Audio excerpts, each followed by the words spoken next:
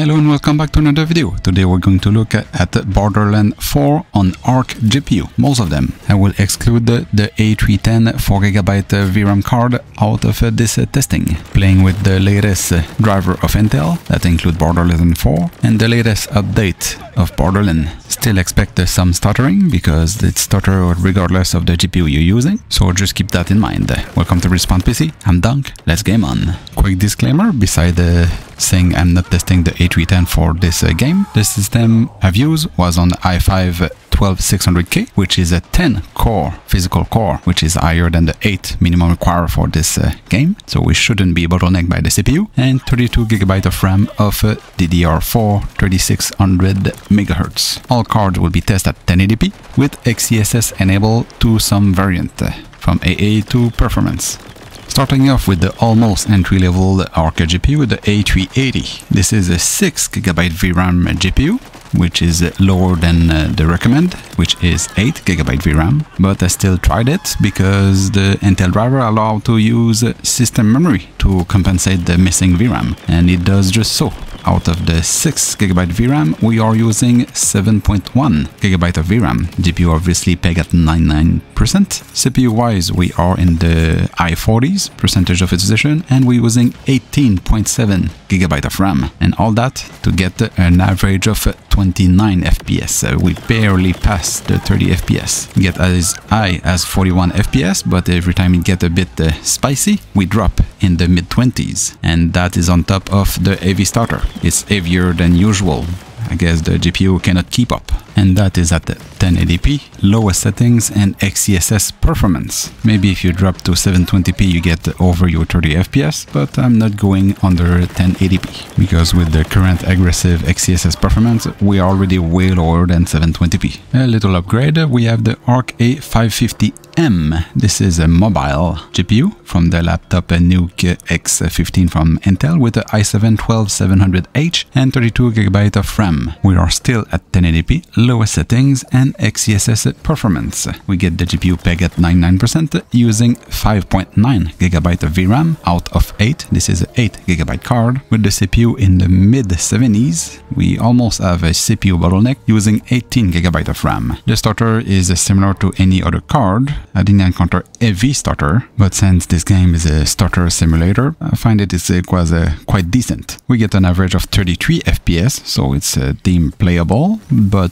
remember we are at XeSS performance. Next up uh, we have the A580 8GB of VRAM card. This is the card that was proposed as the minimum requirement for Intel on the Borderlands uh, minimum requirement, but this time with a better CPU and more RAM. We get the exact same result at 1080p lowest settings XeSS AA native resolution, we still get an average of 35 FPS with the GPU peg at 99% using 7GB of VRAM out of 8, CPU in the mid 40s, but this time we're using over 16 gigabyte of RAM, which when I tested in the proposed minimum requirement, uh, we only have uh, 16 and using about 12. I've also tested XeSS quality, giving us an average of 42 FPS, quite a bump, with the VRAM and utilization of everything stay quite similar to the native, and if you want to drop to balance XeSS, uh, we get 45 FPS, not a big gain from quality. And I didn't drop that baby to performance XeSS. So it seems the A580 was really the real minimum requirement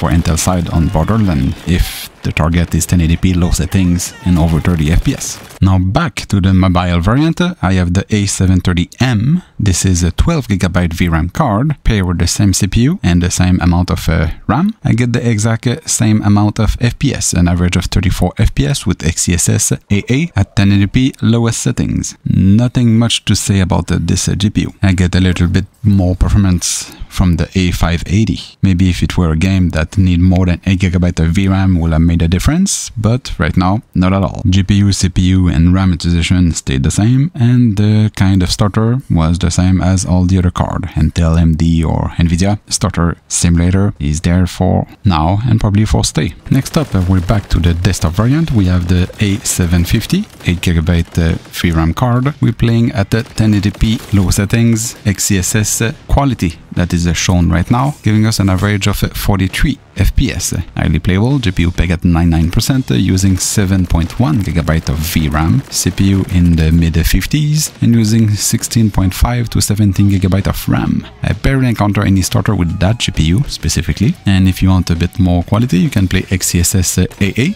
and still be over 30 FPS. We are at 38 FPS with XeSS AA. Next up I have the A770 8GB variant. This is an OC card so expect a bit more performance with a higher clock. Testing the GPU at 1080p low settings with XeSS AA quality and balance, we get an average of 43 FPS for native resolution, 49 FPS for quality XeSS, and 53 FPS for balance XeSS. With the GPU peg at 99% all the time for every settings, with usage of 7.2 to 7.3 GB of VRAM out of 8. We take a full advantage of this GPU with those settings. CPU wise, we're still in the mid 40s and we're using just over 16 GB of RAM. And for this game to be a starter simulator, I barely encounter any starter with that GPU and those settings. Barely. I still encounter here and there, but barely there. Next up, it's again the A770. This one is the LE and it's a 16 GB variant of VRAM, which won't make any difference for this game as we don't even reach 8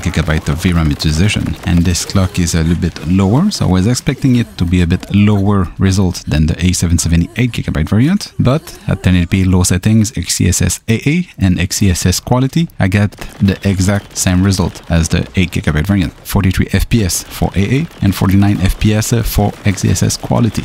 Only difference I've seen is my high FPS was higher than the 8GB variant. I've reached 62 FPS time to time, and the RAM utilization also higher than the, all the other card. I've reached 19GB of RAM utilization with the A770LE without any idea where or what was using that memory. Next jump, we finally go to the Battlemage Arc GPU, starting with the B570. We're still at 1080p lowest settings XeSS AA and we are finally over 60 FPS for native resolution. We're running actually at 74 FPS average. That is quite high and this is in the middle of action. So when you're in an open world or doing nothing, you go higher. With the GPU peg at 99% using 7GB of VRAM out of 10, this card have a 10GB of VRAM, CPU in the mid 60s and using 17GB of RAM, with the frame time frame graph quite smooth, beside the starter here and there again. I also test medium settings 1080p with XeSS quality, we get an average of 55 FPS, still highly playable with better visual for this kind of visual.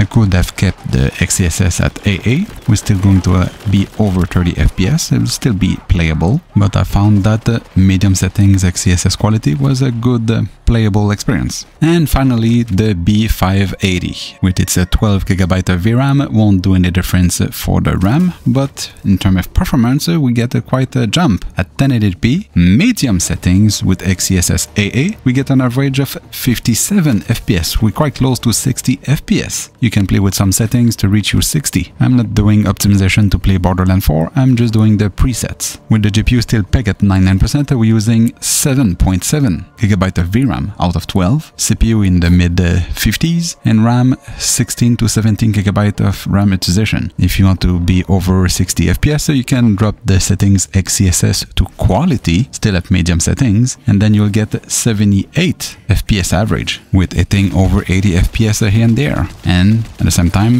the B580 is the recommended GPU from the proposed requirement to play Borderlands 4, and it looked quite decent. If the goal was to play at the high settings, you probably can't with XeSS balance or performance to get over 30 FPS, which I won't recommend. And that's all for testing Arc GPU in Borderlands 4 or Starter Simulator. I don't remember the title anymore. And you see why I didn't test the A310. Hopefully they're going to release a enough patch, performance patch, so the starter go away. Otherwise you can try to do the workaround from other people that have tried to uh, kill the starter. If you don't do that, but here are the results for Intel Arc. Thanks for watching, see you in the next one, and subscribe.